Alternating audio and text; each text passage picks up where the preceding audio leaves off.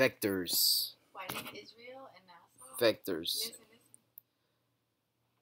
Why do they always have that ring? Why is it that every space agency uses a vector in their logo?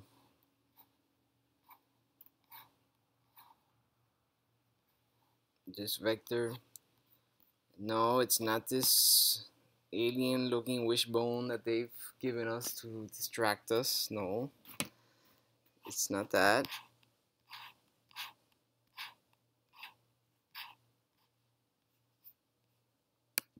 does not represent aeronautics as it was the shape of the latest design in hypersonic wings at the time the insignia was created in 1959?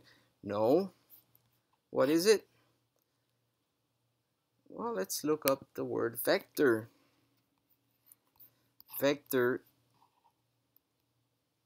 is an element of the real coordinate space.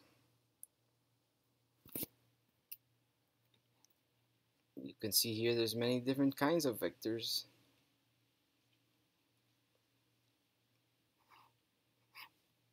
In layman's terms,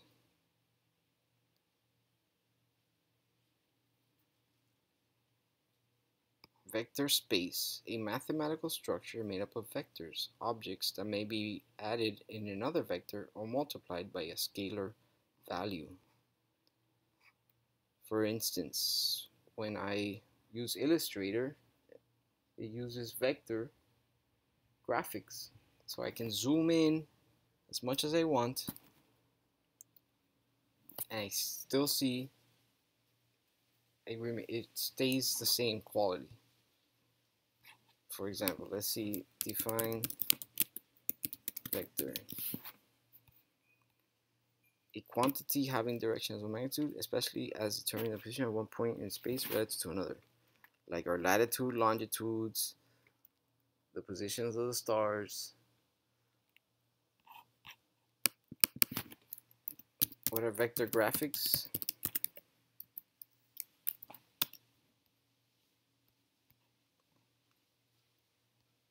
Mathematical expressions to represent images in computer graphics.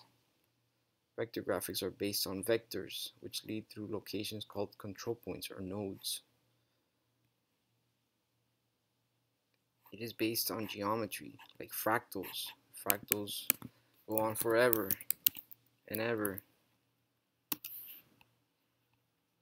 The never-ending pattern. That's our space, our constructed simulation space, our planetarium. So no matter how deep you go, you're gonna see the same shit. You're gonna see the stupid nebulas that they feed us. You're gonna see galaxies. You know, here's a two massive super black holes gonna collide. It never ends, guys. Never. It's all vector. And it's not vector from Despicable Me. Look at the orange. Purple and orange. Once again, vector. We've been duped, guys. Eyes to the sky. Robert out.